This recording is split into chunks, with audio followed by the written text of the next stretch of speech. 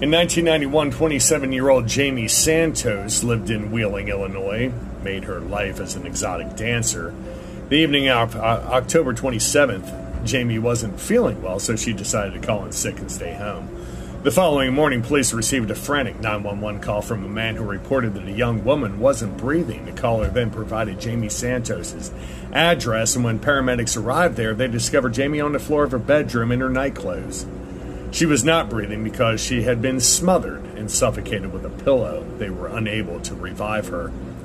Jamie's death was particularly baffling because um, she had not been raped, and there was no signs of a struggle or forced entry. There was also no forensic evidence at the scene to point to a specific perpetrator.